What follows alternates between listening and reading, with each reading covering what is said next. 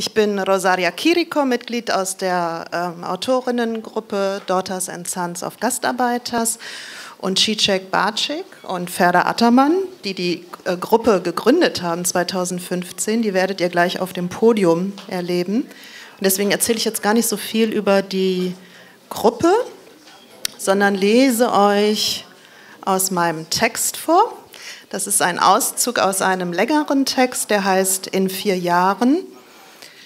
Und ich habe den geschrieben als Reaktion auf den Tod meines Vaters. Meine Eltern sind beide süditalienische Gastarbeiter. Und als mein Vater nicht mehr da war und ich auf einmal ohne ihn am Mailänder Hauptbahnhof stand, schossen mir ganz viele Bilder in den Kopf aus meiner Kindheit von den Reisen aus Deutschland nach Italien oder wieder zurück. Und Mailand, ich weiß nicht, wer von euch das auch so erlebt hat, wer italienischen Migrations- oder was auch immer für einen Untergrund hat. Ähm, der Mailänder Hauptbahnhof spielte eine wesentliche Rolle. Also alle Italiener aus Deutschland oder der Schweiz landeten da und sind in die Züge gesprungen, die dann in den Süden fuhren. Und das in einer Zeit, wo man die Tickets ähm, bzw. die Plätze nicht vorreservieren konnte. Und es war ziemlich ähm, schlimm und aufregend. Aber darüber geht es heute nicht in diesem Text. Es geht um diesen Titel, dem ich dem Gesam Gesamttext gegeben habe, in vier Jahren. Nein, toll. Super, danke. Dann brauche ich doch, ähm, wie hast du das jetzt geschafft? Hokus Pokus. Ja, das war die kollektive Energie. Also, die Ehe meiner Eltern begann 1966 mit einem Plan. Sie wollten für vier Jahre nach Deutschland ziehen, um dort in kurzer Zeit viel Geld zu verdienen. Geld, das für eine bessere Zukunft bestimmt sein sollte. Geld, mit dem sie dann wieder zurück in ihr Dorf ziehen würden um dort etwas aus oder mit diesem Geld zu machen. Ich stellte mir Geld immer wie einen Klumpen Knete vor, aus dem meine Eltern nach diesen vier Jahren unsere Zukunft formen würden. Ein Haus, ein Tisch, vier Stühle, ein Auto. Vier Jahre dachten meine Eltern damals würden reichen. Sie waren 21 und 16 Jahre alt. Viel zu jung, um zu wissen, dass wie sowieso immer alles anders kommt als geplant. Die Zahl 4 erfüllte ihren Zweck. Sie war sozusagen gestibile, in den eigenen Händen formbar. Groß genug, aber nicht zu groß, kleiner als die 5. Die 5, ein halbes Jahrzehnt, wäre zu schmerzhaft gewesen, um sich damit auf die Reise zu machen. Es durfte keine zu große Distanz entstehen, es mussten Jahre sein, die sich wie ein feiner Staub auf Möbeln leicht wegwischen ließen. Meine Eltern heirateten im April 66, also meine Mutter hat wirklich mit 16 Jahren geheiratet, das durfte man damals, und zogen im Dezember des gleichen Jahres nach Düsseldorf. Am Abend des zweiten Weihnachtstages, es sei an diesem Tag so warm gewesen, erzählte Mama, dass sie zum Abschied alle zusammen auf der Terrasse zu Mittag gegessen hätten. Sie hätten einen Laken aufhängen müssen, damit die Sonne sie nicht blendete. In der Sonne tat der Wein seine Wirkung und vermischte sich mit dem Geruch der frisch gepflückten Orangen und Mandarinen aus dem Garten meines Onkels. Noch einmal alle zusammensitzen, noch einmal alle zusammen singen. Meine Großeltern, die Geschwister meines Vaters, die meiner Mutter, die vielen Nachbarn beider Familien, Tanten, Onkels, Cousins, Cousinen waren gekommen, um sich am Abend unter Tränen und mit aufmunternden Sprüchen von meinen Eltern zu verabschieden. La Germania, das war so weit weg. 2000 Kilometer mussten sie auf sich nehmen. Meine Mutter kannte zu diesem Zeitpunkt nur die Dörfer in der näheren Umgebung. Die weiteste Reise meines Vaters war die zur Olivenernte nach Kalabrien. Sie wussten nichts über Deutschland, nur dass es dort Arbeit gab. Nach einer zweitägigen Zugfahrt kamen sie in Düsseldorf an und sahen zum ersten Mal in ihrem Leben Schnee. Keiner hatte ihnen vorher gesagt, wie kalt Kälte wirklich sein konnte. Zio Eugenio, ein Onkel meiner Mutter, und seine Frau Zia Mimi holten sie am Bahnhof ab. Die beiden lebten schon länger in Düsseldorf und hatten meine Eltern überzeugt, es ihnen gleich zu tun. Gleich am ersten Tag ging Mama mit Mimi die Büros im Thyssen-Hochhaus putzen. Mama fuhr zum ersten Mal in ihrem Leben Fahrstuhl und schaute vom zehnten Stock auf die große Stadt, in der sich Autos, Straßenbahnen und sogar Menschen trotz Schnee und Glätte vorwärts bewegten. In Montemesola ging man nicht einmal vor die Tür, wenn es regnete. Man wartete einfach ab, bis sich das schlechte Wetter verzog. Papa ging selbst nach 40 Jahren in Düsseldorf bei Regen niemals freiwillig vor die Tür. Seine Erklärung, es regnet, wir können nicht rausgehen, die Schuhe werden nass, trieb mich als Kind an die Grenzen meiner Anpassungsfähigkeit. Die Kolleginnen im Thyssen-Hochhaus lachten, als sie das Entsetzen meiner Mutter über die schwindelerregende Größe der Stadt in ihrem Gesicht sahen. Um sie zu trösten, erzählten sie ihr von den eigenen ersten Stunden in der Fremde.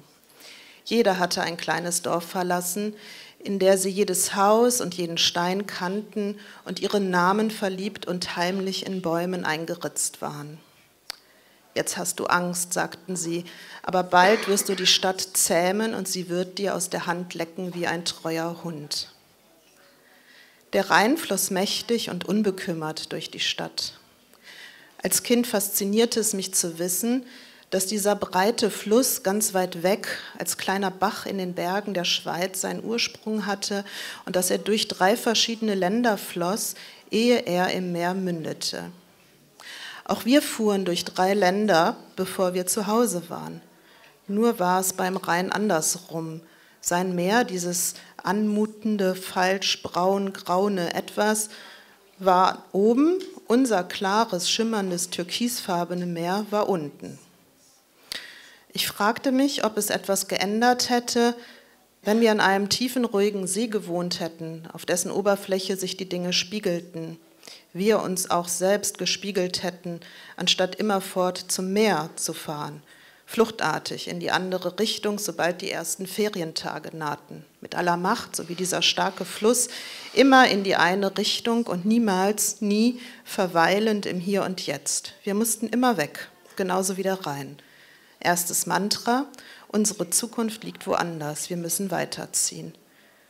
Tag und Nacht, Stunde um Stunde. Das zweite Mantra meiner Eltern lautete Il sacrificio lo facciamo per voi das Opfer. Damit meinten sie, dass sie die Trennung von allem, allem, was ihnen lieb war und die harte Arbeit auf sich nahmen, damit wir Kinder es später einmal besser haben würden. It sacrificio, das war Trennungsschmerz Schmerz multipliziert mit dem Faktor Arbeit und dem inneren und äußeren Kälteschock, der sie in Düsseldorf erwartete. Es klappt wirklich.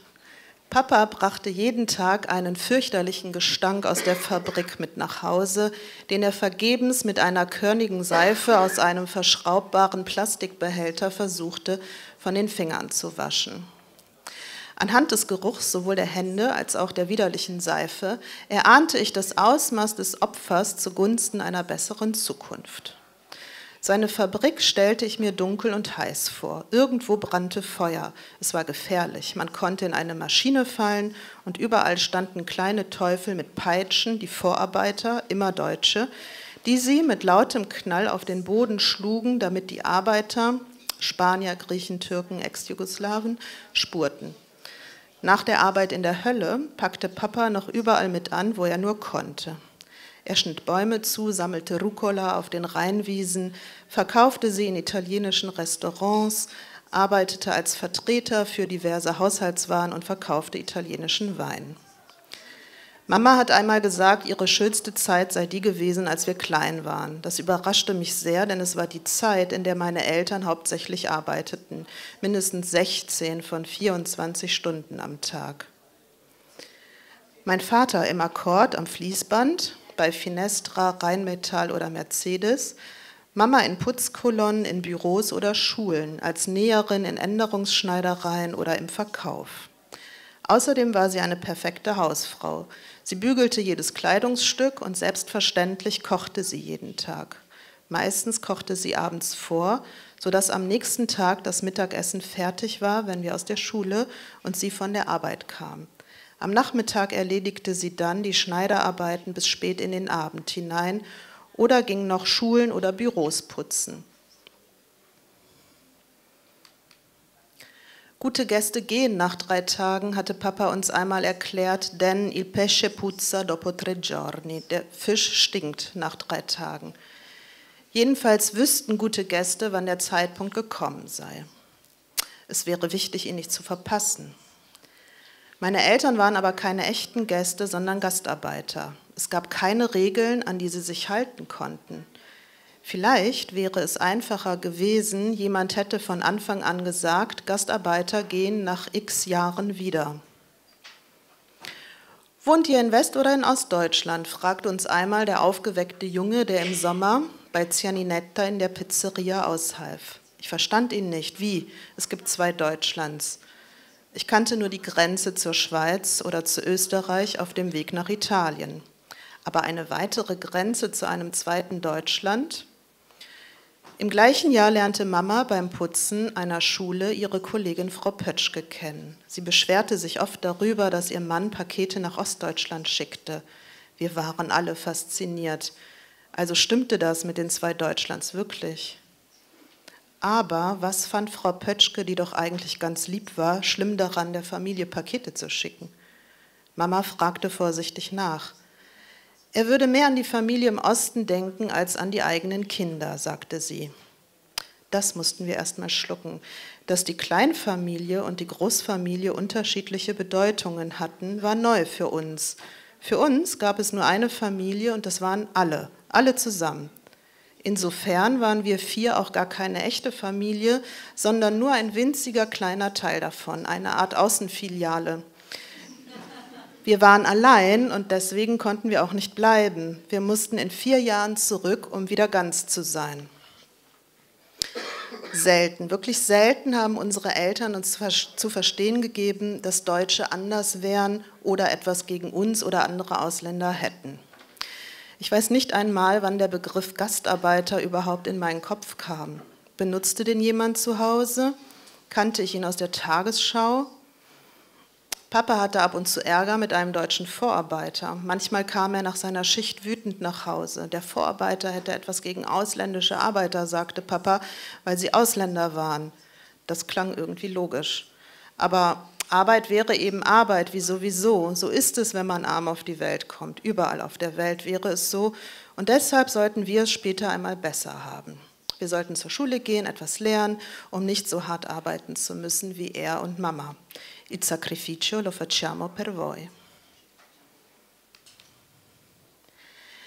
Erst als wir so alt waren, dass wir allein auf der Straße spielen konnten, spürten wir einen anderen Wind. Es gab viele alte Menschen in den benachbarten Häusern, die uns immer zu laut fanden, egal was wir taten. Es gab auch solche, die sagten, wir sollten doch wieder dorthin zurück, wo wir herkämen. Ich dachte zunächst, sie meinten Unterrat, den Stadtteil, in dem wir bis zu meinem dritten Lebensjahr gelebt hatten. Ich konnte mir nicht erklären, woher sie das wussten. Dann wiederholten sich solche Sprüche in der Straßenbahn, wenn alte Menschen mit ihrem Stock gegen unsere Beine schlugen, wir sollten gefälligst Platz machen. Menschen mit verbissenen Gesichtern, die nichts mit unseren netten Nachbarn gemeinsam hatten, wie dem freundlichen älteren Paar im Hochparterre, das immer am Fenster saß und keine Gelegenheit ausließ, sich mit uns zu unterhalten. Wir sollten gefälligst Platz machen und dorthin zurückkehren, woher wir kämen. Das, was sie wütend machte, müssen sie in unseren dunklen Haaren und Augen erkannt haben. Woran sonst, fragte ich mich, wenn ich versuchte, so unauffällig wie möglich in der Bahn zu sitzen und alles richtig zu machen. Aber zack, schon wieder schlug ein Stock an mein Schienenbein, nur weil ich da saß und atmete. Allerdings schimpften die dünnlippigen Stockträger auch, wenn wir mit blonden Kindern auf der Straße spielten. Es lag also nicht ausschließlich an der Haarfarbe, es gab noch mehr, was sie wütend machte. Es war wohl das Kindsein überhaupt, was wiederum für die Dunkelhaarigen unter uns schwer zu verstehen war, denn egal woher unsere Eltern kamen, dort wurden wir geliebt, gerade weil wir Kinder waren. Als meine Schwester auf die Welt kam, war die erste Hälfte der vier Jahre um. Als ich zwei Jahre später geboren wurde, hätten wir eigentlich im gleichen Jahr zurückziehen müssen. Auf die Frage, ma quando tornate a casa, wann kommt ihr zurück nach Hause, die immer gleich nach den Begrüßungsküssen auf fleischigen, verschwitzten Wangen erfolgte, lautete die Antwort plötzlich nicht mehr in vier Jahren, sondern bevor die Kinder in die Schule kommen. Ein paar Sommerurlaube später hieß es, bevor die Kinder in die weiterführende Schule kommen. Noch später, wenn die Kinder Abitur gemacht haben oder wenn sie aus dem Haus sind und schließlich, wenn wir, wenn wir in Rente gehen. Ich glaube, das Konkreteste, was meine Eltern von der Idee einer besseren Zukunft nach vier Jahren tatsächlich umgesetzt haben, ist ihr Haus in Montemesola, La Casa, Inbegriff eines erfüllten Lebens. Und so floss vom ersten Moment an jeder ersparte Pfennig in den geplanten Hausbau. Für die Düsseldorfer Wohnung wurde dementsprechend kein Geld ausgegeben. Alle guten Sachen wurden bei der nächsten Gelegenheit mit nach Italien genommen. Kristallgläser, gutes Besteck in schicken Koffern, große flauschige Handtücher. Als ich aufs Gymnasium kam, schämte ich mich gegenüber meinen deutschen Freunden für unsere Wohnung. Bei ihnen sah es in den Wohnungen anders aus, ebenso wie es aussieht, wenn Menschen wissen, dass sie bleiben und es sich schön machen. Lange Zeit wusste ich nicht, wie ich Ihnen erklären konnte, dass auch wir in unserem wirklichen Leben ein schönes Zuhause hatten, fast wie in einer Einrichtungszeitschrift, übersichtlich geordnet, hell, ohne Rumpelecken, wie in der Düsseldorfer Wohnung, wo wir mit dem ausrangierten Zeugs der anderen lebten. Benutzte Sofas und Sessel, benutzte Teppiche, alte Küchenmöbel. Alles war alt und gebraucht und nichts passte zueinander. Da wir in vier Jahren wieder wegziehen würden, lohne es sich nicht zu renovieren, verklickerte ich meinen deutschen Freundinnen und wir schauten uns traurig an. Der einzig schöne Ort in unserem Patchwork-Provisorium war ein Fach in unserer Wohnzimmerschrankwand, in das meine Eltern Aftershaves, Eau de Toilettes und Seifen reinlegten, die sie zu ihren Geburtstagen geschenkt bekamen feine Stofftaschentücher in schön verzierten Verpackungen. Ab und zu setzte ich mich auf den Teppich vor das Fach und öffnete jede Packung einzeln. Das Fach hatte im Laufe der Jahre seinen eigenen Geruch entwickelt. Ich schnupperte an den Flaschen und roch an den Seifen, die in schönen Kartons und einer zarten Papier, unter einer zarten Papierhaut lagen. Diese Gerüche erzählten von einem Leben, das ich nicht kannte, purer Luxus, der nicht zu unserem sparsamen Düsseldorfer Leben gehörte. Ich glaube sogar, dass die meisten Sachen als Geschenke in Montemesola bei Verwandten landeten, was mir als Kind immer einen unangenehmen Stich versetzte. Das Fach ähnelte den Hollywood-Film, die wir uns am Sonntagnachmittag zusammen anschauten. Es war wie ein Versprechen auf ein wunderschönes Leben später irgendwo am Meer mit leichten Vorhängen, die sich in der Sommerbrise sanft bewegten. Später einmal später würde auch ich ein Leben leben, das so war wie dieses Fach, in vier Jahren oder ein bisschen mehr. Danke.